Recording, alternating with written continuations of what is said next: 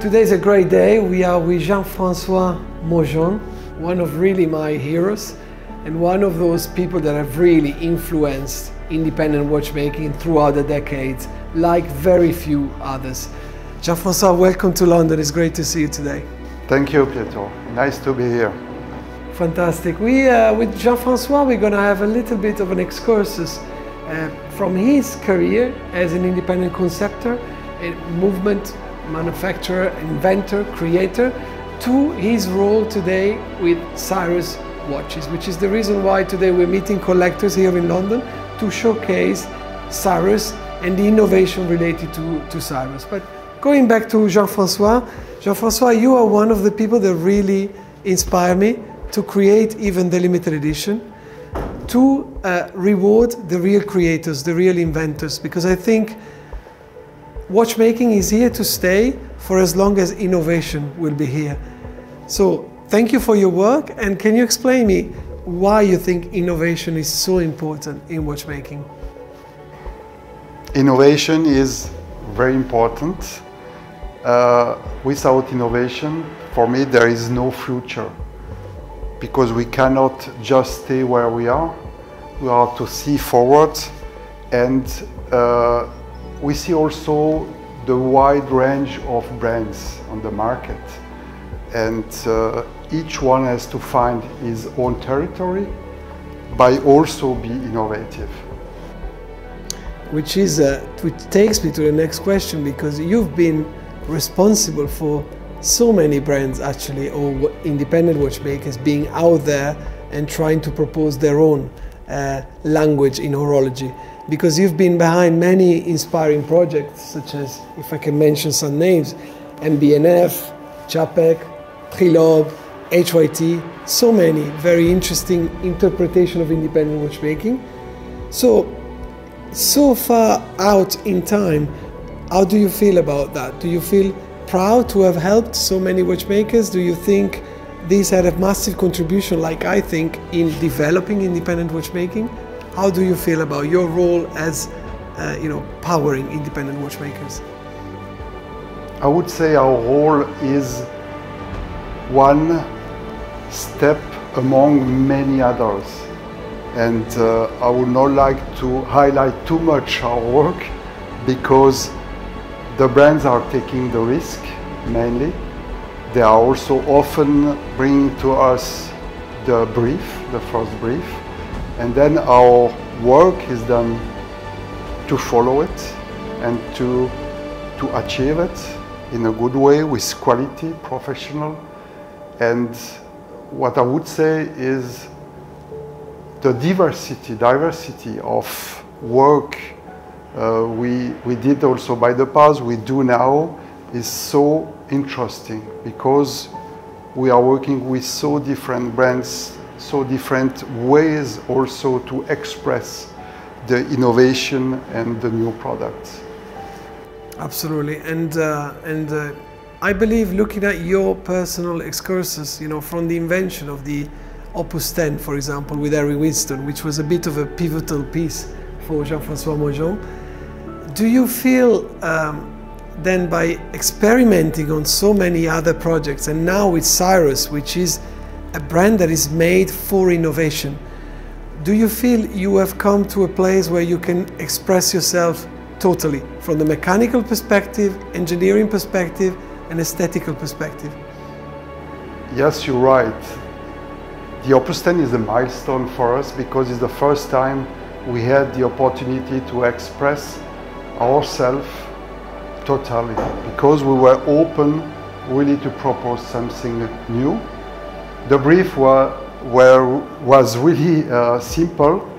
He has to, to make a wow effect, you know? And uh, it's also interesting because back to the Opus 10, we work a lot with the kinematic, with satellites, also gearing, special gearing, we still use today. There is in particular one piece that we will showcase today, tonight in London to our collectors is the ethereal orbital tourbillon, which is a little bit, when I saw this piece I thought about obviously you being involved. Uh, I know about the Opus 10 and what the Opus 10 represented in your career.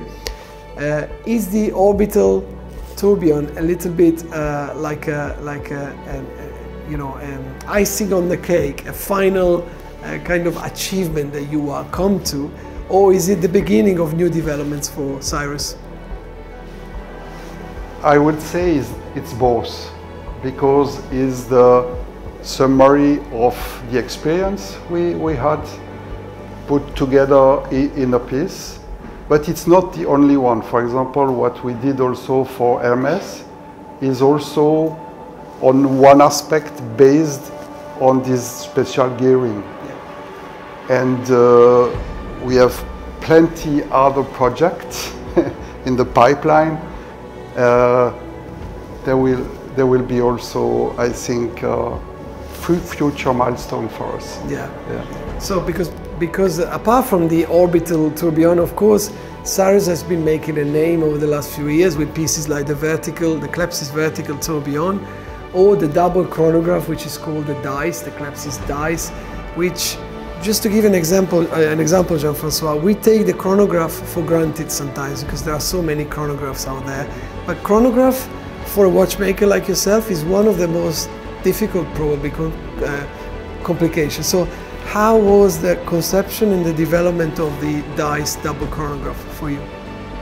I would say first we thought uh, to develop a chronograph for Cyrus, but of course it would not be a classic uh, chronograph and we had different kind of complication based on the chronograph and at the end we came to the double independent chronograph.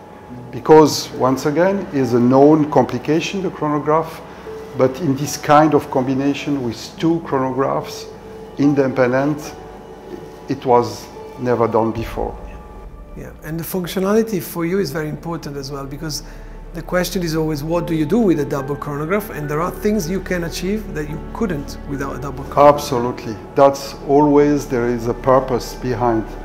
Is not just making two chronograph for, for the beauty of making two chronograph, chronograph, but it's also because you can start two different uh, events at a different time and uh, it makes sense but uh, also you're right, the chronograph is not easy to, to, to manage, uh, to be reliable in the time, in the duration, and we put many efforts on specifically on that project. And of course you need a bit of a, a big mechanical canvas to express your creativity as a watchmaker, but you embraced the challenge, for example, on this particular piece, the dice double chronograph, to work on a 42 millimeter scale, which is something that was not done before at this level of complexity. So how difficult was it? Yes, one challenge we faced is of course the space we had uh, we had uh, at uh, disposition. Uh, we had also to face different kind of mechanical challenges to mix both uh, chronographs without uh, make it trouble from one to the other. And uh, we put also uh, specific attention to the testing at the end. That we make the first prototype, the functionality, and also all the reliability during uh, over many years. That's very, very important for us. And this is what Cyrus was offering you as well, because as I said, we've been fundamental to the development of so many uh, horological projects that are so now established within you know the collectors' minds. But what was it that Cyrus could offer to you to really express your creativity and your savoir-faire into horology that you really liked? What is of Cyrus that you really uh, enjoy and, and, recognize as a great quality? Uh, I would say the opportunity we have to express innovation by Cyrus is very open because he's uh, quite contemporary a brand and uh, also we can propose specific complication which have never been done before. So there are no limits in There terms no of limits. research, development, and execution, Exactly. which is what draws me into Cyrus. And I really believe that Cyrus could have been an incredible addition to the collection of independent watchmakers at the limited edition. And uh, one thing that uh, really fascinates is the total devotion to this magic word that is actually uh, innovation. So within our um, years of developing incredible mechanical calibers, you've worked with some uh, obviously very skilled watchmakers. And I'm sure that one thing is having the ideas, one thing is having the right people to develop certain things with. At Cyrus today, how many watchmakers are actually involved? And what are the skills that are there uh, in particular? More on the engineering side, on the finishing, or on the aesthetics and the design, you would say? I would say that we need all the skills of the company to achieve our Cyrus watch at, at the end. And I would uh, really uh, say that it's a teamwork, very, very important. And uh, is the, the skills we built over the, I would say now, uh, soon 20 years. Uh, it's, uh, it's a long work, long time uh, collaboration with, with the people, and not only internally, but also with the partners, suppliers, who also uh, made exceptional uh, work for, for us and for Cyrus. Yeah. So today Cyrus is a is a great, efficient machine that involves Chronode to a certain level, Cyrus itself, and external suppliers all working together. Absolutely, Yeah. exactly. Fantastic. So we can't wait to see the watches in the flesh, and uh, this will happen uh, tonight with our collectors here. I hope you'll enjoy having a, a first-hand, you know, feedback from uh, from our collectors, and I wish you can have a great time uh, in London. And thank you again for your time and for being with us. Thank you. I will sure enjoy this evening. Thank you.